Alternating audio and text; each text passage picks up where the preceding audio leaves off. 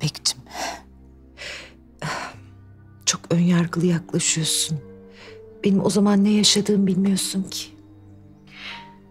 Sen sadece kocanı mutlu etmek ve evliliğini kurtarmak için beni verip bir erkek evlat aldın.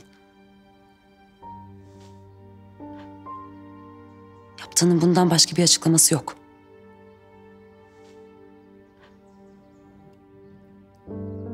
Haklısın.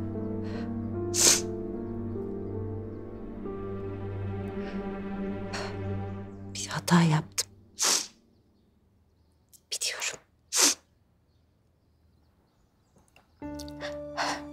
Haksızım biliyorum. Kendimi savunmuyorum. Sebebi ne olursa olsun yapmamam gerekirdi. Biliyorum. Değmezmiş değil mi? Sen beni kocan için bıraktın. Kocan da seni bir hizmetçi için terk etti.